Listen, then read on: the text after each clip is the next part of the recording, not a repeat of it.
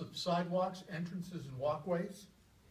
We went through 1,600 50-pound bags of salt and over 460 tons of salt. And that's from like November up until, uh, up until today.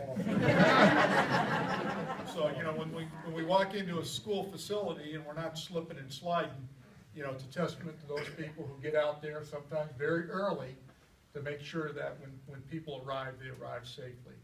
Um, So again, I, I can echo what the mayor said. We certainly appreciate what you do. I can assure you that the parental community appreciates it, and thank you very much.